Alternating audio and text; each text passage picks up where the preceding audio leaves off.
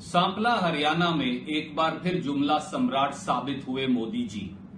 झोला रहा बिल्कुल खाली, बने रहे ठन ठन गोपाल, हरियाणा के काम की एक बात नहीं। सोनीपत की रेल कोच फैक्ट्री को बना दिया, कोच मुरम्मत फैक्ट्री।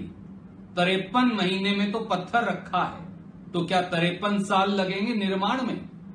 और ना, बिनोला गुड़गावा की डिफेंस यूनिवर्सिटी की चर्चा? और ना मानेठी में बनने वाले एम्स की कोई बात, न किसानों का कोई साथ, न गरीब की पीड़ा की कोई बात, न युवाओं को रोज़गार की कोई सौगात। सच्चाई ये है, बातें किसानों की और लाठियाँ उनकी छातियों पर।